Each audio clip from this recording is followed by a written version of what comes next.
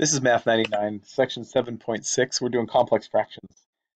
And complex fractions, uh, we call them that just because they're like a fraction over a fraction. It's, it's nested division in a sense. So here's an example of a complex fraction. Uh, 1 fifth divided by 5 ninths, or one-fifth over 5 ninths. Notice that it's something over something else.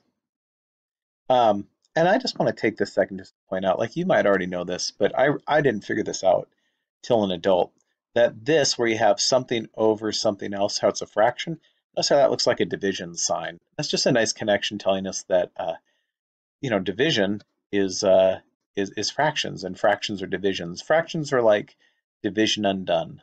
Um, so anyways, that being said, uh, that helps us deal with complex fractions because if I have a complex fraction, and notice it's just a fraction over a fraction. That's the same as saying uh, 1 fifth divided by 5 ninths. I just top divided by bottom, that's what fractions are. And now I'm just dividing fractions, and we know how to do that. We just did that in the, in the last section.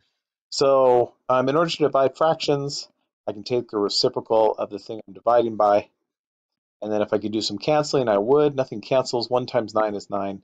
5 times 5 is 25. 9 25ths. It's kind of weird, but it is telling us that uh, 5 ninths goes into one fifth, nine twenty fifths times. Well, that sounds like nonsense, doesn't it? Uh, but that is what is going on. It's actually a nice way to think about it, I think. So let's do another complex fraction. We had something like x to the fifth over y cubed, and that is going to be over um, x squared over y to the eighth. Same idea, this is just division. So it is the top divided by the bottom, which is, is just the same as the top times the bottom. Now you don't have to, but some people will just skip straight to that step. They won't they won't rewrite this part. But I think it's just for clarity. I'm gonna I'm gonna keep rewriting it. Uh, so from here I can keep going to do some reducing. I know that I have an x squared here and an x to the fifth here x squared goes into x to the fifth three times. So this goes into that, not three times, but x to the third power times, right? Like these, these two x's, this is x times x, cancel out two of these x, two of these five x's, leaving me three x's. Uh, similarly, y to the third and y to the eighth. Um, these three y's cancel out three of these y's, leaving me, uh, if I take away three, five of them. And notice in the bottom I have uh, 1 times 1, in the denominator. And in the numerator, x to the third times y to the fifth. That's just x to the third times y to the fifth. It's over one, so I can I don't need to write the, the one in the denominator part. So this is equivalent to that is what I'm saying. So let's go ahead and do this next example. y minus 1 over x over x minus 1 over y. Now, this is a this is a complex fraction. It's it's not just a fraction, right? It's something that's that's complex over something else that's complex. So what I want to do um, in order to be able to just flip and multiply is combine this down to a single fraction and combine that down to a single fraction. So I'm just going to actually do the subtraction here. I want to go y minus 1 over x. In order to do that, I'm going to need a common denominator. And this one's already over x. So if I multiply by this version of 1, that will turn this into um, xy minus 1 divided by x. And I'm going to do the same thing with the denominator. This is already over y. So if I multiply by y over y, then they'll have a they'll have a common denominator. And notice it says yx, that's the same as xy. You can multiply in whatever order you want. And that's over y. And so now I have this division. This is this is division. So I have a xy minus 1 over x divided by xy minus 1 over y. And uh, I'm going to star this because I'm going to come back and show you a connection after I just go through the go through the process. So dividing by a fraction, that's the same as multiplying by the reciprocal of the thing I'm dividing by. So I can multiply by the reciprocal. And then I notice that xy minus 1 divided by itself is 1. That leaves me a y over x. And you know, notice what I'm saying is that this is a, is equivalent to that. Let me erase this work. So like if you told me x was 5 and, and y was 7, uh, x was 5, sorry, and y was 7, um, I do a bunch of work over here, but what I get is 7 fifths as an answer. The only way this will time of this would break down is either when x is 0 or when y is 0. All right, um, I'm going to go back to the star. Now you don't have to do it this way, but when you divide by fractions, just like when you multiply by fractions, you can go straight across. So notice if I had this, which is just that, xy minus 1 divided by itself is 1. x divided by y is x divided by y. And dividing by a fraction is the same as flipping it. Like you, you sometimes you do eventually have to do the flip anyways. But um, sometimes if you're you're here and you notice, you can start to do some canceling straight across too, because you're just dividing top by top, bottom by bottom. Now let's do another another example. 2 over x minus 5 over x plus 1 over x squared minus 25. Uh, complex fraction, it is already a fraction over a fraction, so I don't have to do the manipulation like I did in the last problem. So let me rewrite it. Uh, 3 over x minus 5 divided by x plus 1 over x squared minus 25. And uh, this idea of dividing straight across, I don't see any shortcuts there, so I'm just going to flip and multiply.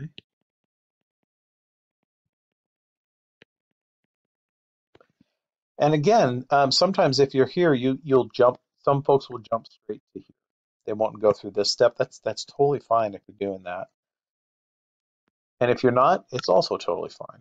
Whatever's going to work for you. I'm going to factor what I can. These are fine. x squared minus 25. That's a difference of squares. That's x plus 5 times x minus 5. And what's lovely about that is that x minus 5 cancels out. So that leaves me a uh, 3 times x plus 5 in the numerator divided by x plus 1. And uh, you can leave it like this. You do not need to distribute the 3 into there and write this as 3x plus 15. I mean, it's okay if you do, but uh, more work, more work than you need to do. All right, I have three more, three more examples that I'd like to like to do. So this next one is 1 over a squared plus 5a plus 6. And that is over 1 over um, a plus 3. I have a fraction over a fraction. It's already, I don't need to do anything to combine it. It's already single fraction, already single fraction. So that's the same as this.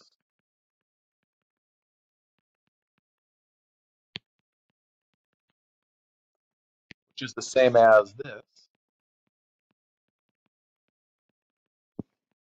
I'm going to invert, take the reciprocal, and multiply. And then um, going from here, I noticed that um, there's some factoring I can do. These are fine, but this bottom right here, this factors to uh, things that multiply to 6, add to 5, 3, and 2.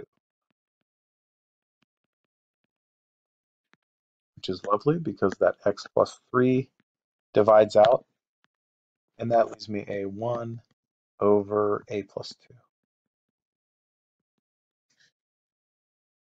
And just to make the connection, again, you don't have to do it this way, but at this division point in this particular problem, we know that this factors to uh, a plus 3 times a plus 2 divided by 1 over a plus 3. If I divide straight across here, 1 divided by 1 is 1. And a plus 3 divided by a plus 3 is 1, leaving me an a plus 2 you get the same answer both ways. This is a this is a pretty convenient one to not have to flip and multiply, but again, it doesn't matter. You can do whatever works. Another couple of examples. The next one is 1 over, uh, 1 plus 1 over a over 1 minus 1 over a squared. So as I take a peek at this one, it's not just a fraction over a fraction. It's still complex, but uh, I'm gonna have to do a little bit of work to get into a form. I'm gonna just, uh, that I could use. I'm gonna do this addition. So I need a common denominator. So I'm to multiply this one by a over a. And that gives me a uh, a plus 1 over a. Do something similar with that denominator. Uh, this has an a squared, so I'm to multiply this by a squared over a squared. That leaves me a uh, a squared minus 1 over a squared. Cool. So this is division. a plus 1 over a divided by the bottom. squared minus 1 over a squared. I'm going to turn that into multiplication. So times a squared over a squared minus 1. And I'm going to do a little bit of uh, factoring here. These are all good. This bottom one here, though, that's difference of squares. So that's an a plus 1 times a minus 1. So my a plus 1's divide out. I also notice that this a divides out one of these a's squared. So the squared's gone. It's just a single a up there. So it looks like my answer is going to be a over a minus 1. And that's it. Um, I think that it's tempting for some people to try and cancel out, like just go, oh, that's an A, that's an A. But remember, um, we can't do that across across subtraction. In order to cancel out this A minus 1, we would need another A minus 1 up here. So this is our answer. Stop here. Don't, don't be tempted by that. All right, last example. One, one more. And it is uh, 2 over A plus 1 plus 3. And that whole thing is over uh, 3 over a plus 1 plus 4. So as I go to combine this one, uh, I notice this isn't just a single fraction and neither is this. So I'm going to combine them down to a single fraction each first. So this top one, um, I'm going to actually do that addition and I need a common denominator for it. So I notice that this is over a plus 1. So I'm going to multiply this by a plus 1 over a plus 1. And in the denominator, this is also an over an a plus 1. So I'm going to multiply, same idea, this by a plus 1 over a plus 1. And if I do that, what I'm left with is a uh, 2 plus 3 times a plus 1 over a plus 1. And that whole thing is over 3 plus 4 times a plus 1 over a plus 1.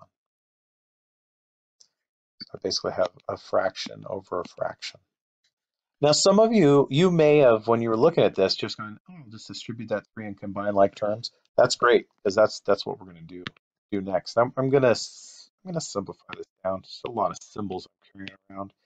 So up here I have 2 plus 3a plus 3 and that is just uh, 3a plus 5 over a plus 1. And I'm going to do something similar in the denominator. Uh, 3 plus, if I distribute that 4, 4a plus 4. So that is a uh, 4a plus 7. Started to write a 3. 4a plus 7, and that's over a plus 1 as well. So this is division. So this is uh, 3a plus 5 over a plus 1 divided by 4a plus 7 over a plus 1. So I'm not done yet, but I just did that because I want to show you two ways to think about that. One of these is just plow through that algorithm, flip and multiply. So it's uh, 3a plus 5 over a plus 1 times a plus 1 over 4a plus 7. As you know, a plus 1 divided by itself is 1. So that leaves me a 3a plus 5 over 4a plus 7. And now I don't have a 4a plus 7 in the numerator. I don't have a 3a plus 5 in the denominator, so I'm done. There's nothing else to cancel. Notice if you didn't flip, again, you don't have to do it this way. I just want to point out you can divide straight across. So in the bottom, I have a plus 1 divided by a plus 1. That's just a 1. And in the top, I have uh, 3a plus 5 divided by 4a plus 7, which is exactly what, what this says, what this fraction says. So again, you can divide straight across or you can flip and multiply. Flipping and multiply will always get you there. Sometimes it's more work. All right, give some of these uh, problems in this a, uh, a try. Let me know what questions you're having. Let me know how it's going, and uh, good luck. Um, and good job. I'm sticking with it so far.